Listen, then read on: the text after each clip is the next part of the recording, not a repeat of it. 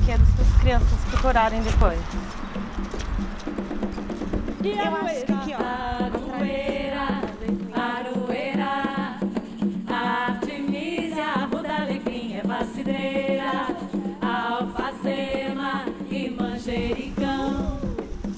Meu nome é Sol, sou ativista do movimento Nação Pachamama e hoje a gente está aqui nesse camping incrível do Rio Vermelho, é, nos reunindo em grupo com o convite do Refletindo a Deusa, do Panapaná, é, para celebrar a deusa Pachamama, essa nossa mãe, essa consciência que a gente carrega todo dia em devoção à vida, é, à abundância, a esse ser que nós somos.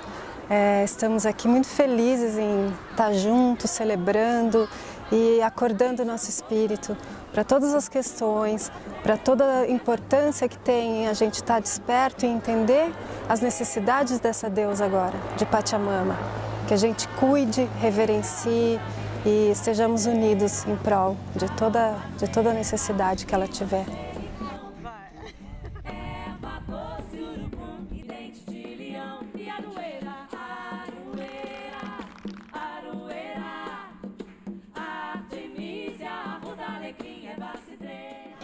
Esse momento que a gente está vivendo agora pelo calendário é Invoke, é o momento da deusa menina. Por isso ela foi de rosa, honrando a deusa menina, que são os bebês.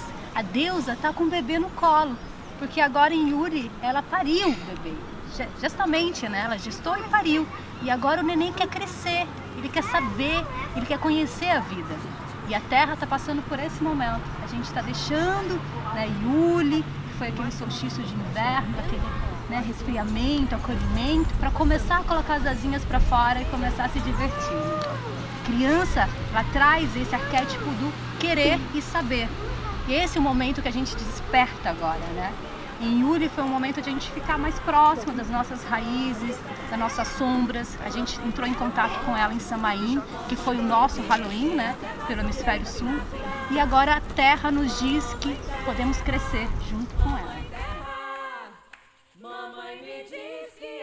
São feitas para curar.